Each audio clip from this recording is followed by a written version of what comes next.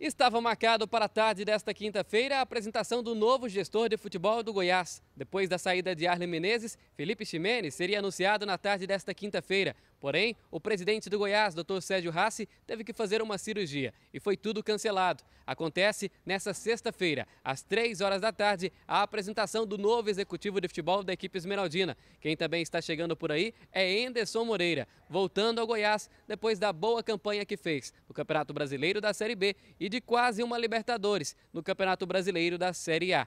A partir de agora, uma tentativa de vida nova, pensando em 2016.